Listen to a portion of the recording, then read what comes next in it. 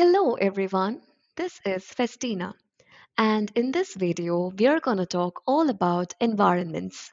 For that, let's get started with the Power Apps Maker portal. We are right over here in make.powerapps.com, which is the Maker portal. And in the top hand right corner, you could see something called as environment. Clicking on that will show us the default environment and any other environments to which we have access to. And to understand environments in detail, I have created a visual representation for you. An environment is actually a space or a logical container for storing, managing, and sharing your assets. And by assets, I mean your apps, flows, chatbots, connections, gateways, and so on. Let's take a quick look at the Power Apps Maker portal once again. Here we are on the default environment. On the left pane, we could see what all it contains. It contains apps, Dataverse tables, flows, solutions. Clicking on more will show you what other possible assets that it could contain. Could have chatbots, websites, cards, connections, and so on. All of this is actually inside this environment. And I would like to talk a little about the default environment. So Power Apps creates a default environment for every tenant and any user who signs up for Power Apps is automatically added to the environment maker role of this default environment. And they can start building apps in the default environment. But it is not really recommended for production and it is generally recommended that we rename this environment to personal productivity. Let's take a quick look at the admin portal wherein we can rename it. Let's go to environments. In here, I have my default environment. I'm going to open that and click on edit. And here we are just going to rename that to personal productivity.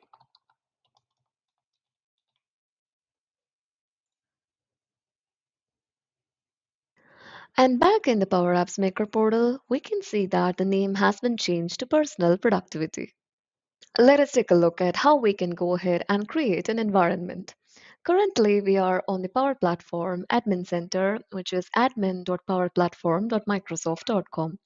And on the top hand right side, we see an option called Try the New Admin Center. Let's go ahead and try that. This is how the new Admin Center looks like. And on the left pane, clicking on the Manage option gives us environments. Let's click on environments. And here we can see the default environment, which is already available.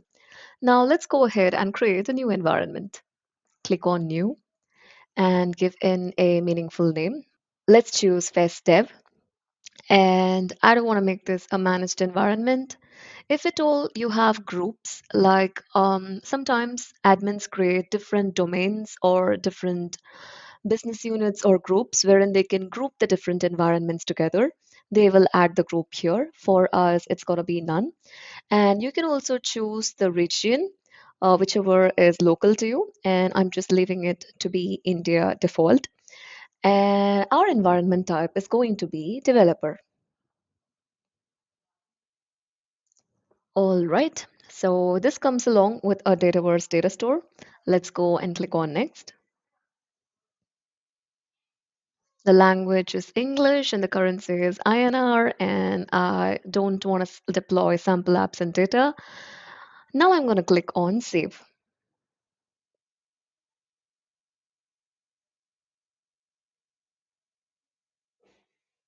All right, so new environment FestDev is preparing. It can be used once ready.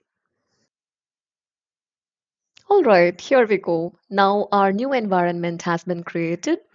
Again, let's go to the Power Apps Maker portal and do a quick refresh. And let's click on environments on the top right. Right here, I could see the new environment that has been created for us. Now, this is going to be all empty because we are yet to start with development in here. An environment allows you to create a separate space for a specific set of users wherein they can create their apps, workflows, and every other resource possible within the Power Platform environment. For an example, let's say the marketing team has a separate environment for creating automated campaigns. Same way, the HR team has another environment for managing recruitment workflows. Every team has exactly what they need with no interference from others. Hence, it allows your work to be organized. Another huge benefit of environments is the application lifecycle management.